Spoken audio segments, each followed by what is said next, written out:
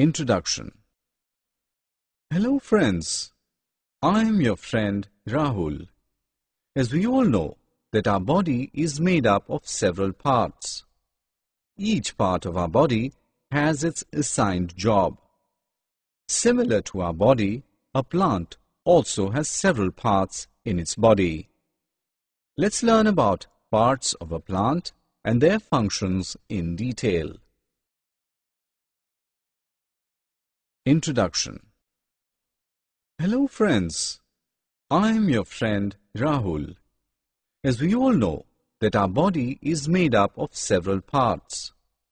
Each part of our body has its assigned job.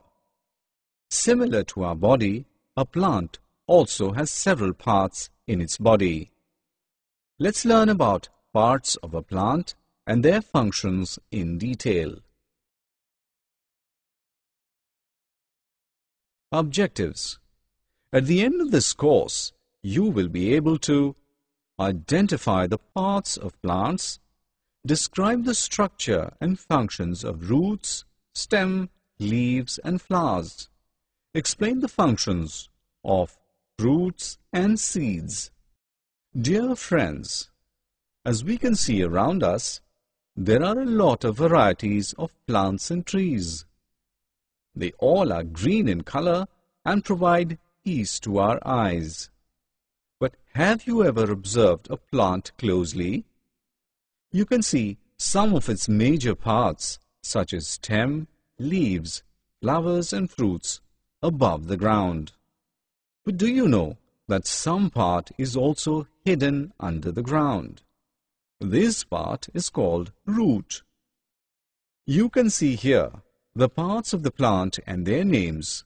So just drag and drop the names in their respective boxes. Now, let's know the parts of the plant in detail.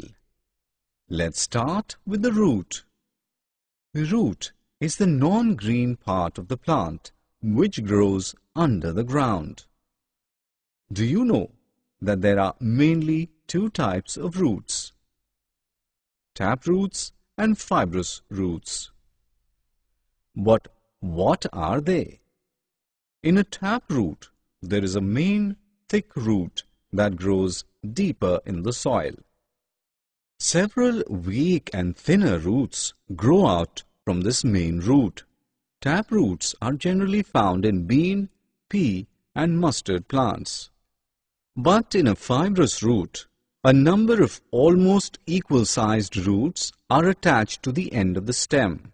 That is, there is no main root like taproot. This kind of roots is present in grass and wheat. Till now we have learnt the structure and types of roots. But now the question is, what are the functions of the roots? Friends, actually roots hold the plant firmly in the soil. They also absorb water and nutrients from the soil and send them to the other parts of the plant. Roots also perform the function of storage of food in some plants such as carrot, radish and turnip. The food prepared by the plant is stored in the roots. We eat these roots and get nutrition. Now let's know about stem. Stem is the green or brownish part of the plant, which grows above the ground. It provides support to the plant and bears branches, leaves, flowers and fruits on its body. In young plants, the color of the stem is usually green, but over a period of time and with advancing age, it turns brown in color. Some trees, like banyan and mango, have hard, strong and brown stem. It's called trunk, whereas some trees, such as banana, has a thick but soft and green stem. In some plants, the stems are so weak that they cannot hold the plant upright. Such plant climbs with the help of a support, so they are called climbers. Money plant is the best example of this kind. Now let's focus on the main functions of stem in plants. The water taken in by the roots of the plant travels to the leaves through the stem. This water is used by the leaves to make food. It also carries food made by leaves to all parts of the body. Sometimes the food made by the leaves is stored in the stem as in sugar cane. The other examples are potato and onion. We eat these stems and get nutrition. Next part of the plant is leaf. It is the green part of the plant that is borne on the stem. They are of different shapes. Some are round, some are long, and some are triangular. The surface of a leaf is known as margin, and their margins are also different like their shapes. Some of them have straight margins, while some have uneven margins.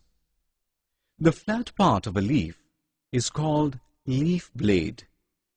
Each leaf on its leaf blade has a main vein and many small veins connected to it. Through these veins, water is circulated throughout the leaf. Now let's discuss the main functions of a leaf. The main function of a leaf is to make food for the plant. For making the food, they use water, chlorophyll, carbon dioxide, and sunlight. This process of making food is called photosynthesis. In this process, oxygen is released. All living things require oxygen for breathing. Some plants like cabbage and mint store food in their leaves. We eat these leaves to get nutrition. Now let's highlight on the most attractive and beautiful part of the plant, that is, flower. They are of different colors. They are of many shapes and sizes. Most of the flowers contain a sweet smell, and when it spreads, it attracts insects and birds. You will be surprised to know that flowers are also called reproductive organ of the plant, as they help plants in the process of reproduction.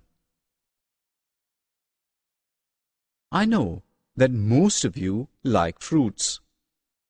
Fruit is the juicy part of the plant. It forms from the flowers of the plant. Fruits are of different shapes, sizes and colors. Fruits are good for health as they contain many vitamins. Friends, seeds are present inside the fruits. Some fruits like mango have only one seed inside them, while others have many seeds, like in apple and watermelon. Do you know that a new plant grows from a seed? It also stores food for the baby plant. When the seed gets water, air and suitable temperature, it starts growing and soon it grows into a new plant. Till now you have learnt about different parts of the plant and their functions. Now it's time to have some fun. Students, you might have seen lotus floating in ponds and lakes. These plants show various adaptations to live in water. Lotus plants have long and hollow stem, which attaches the plant to the base of the pond. Roots are short. Leaves are wide and disc-shaped, thus helps the plant to float on the water surface. Some aquatic plants remain submerged in the water, for example, hydrilla. Summary Now friends, let's summarize what we have learnt.